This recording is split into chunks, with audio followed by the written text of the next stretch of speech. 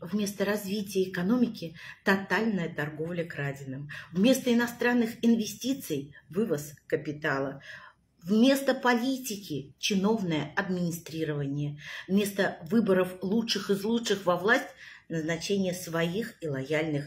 Вместо национальной идеологии – антисоветизм и власовщина. Вместо политиков – аватары – Вместо русского государства – Хазария. Вместо роста благосостояния народа – установка «люди – новая нефть». Вместо квалифицированных рабочих – гастробайтеры. Вместо инженеров – мерчендайзеры. Вместо качественной журналистики – блогеры с хейтерами. Вместо профессиональной армии – ЧВК. Вместо воспитателей – психотерапевты, вместо учителей – тьюторы, вместо вузов и НИИ – храмы и мечети.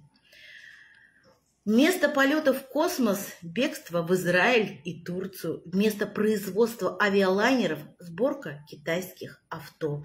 Вместо производства арматы – танковый биатлон.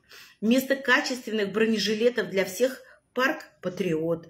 Вместо свободных профсоюзов – мутные НКО, вместо роста зарплат цифровой рубль, вместо медицины платный ПЦР и жижа от владелицы гольф-полей, вместо высокоскоростных магистралей по всей стране метро Воденцова, вместо гласности анонимный электронный контроль.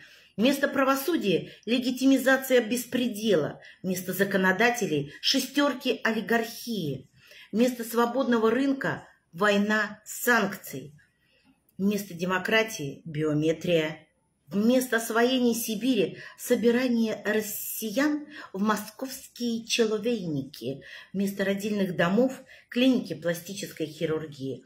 Вместо развития сельского хозяйства – гордость за экспорт зерна и подготовка к поеданию насекомых при импорте помидор из Турции, картошки из Израиля и огурцов по цене в три раза больше, чем бананы из Египта. Вместо достижения страны к новому технологическому укладу – строительство дворцов с кальянными и покупка яхт для любовниц – и вместо ясного и привлекательного образа России будущего дугинская борода в телевизоре.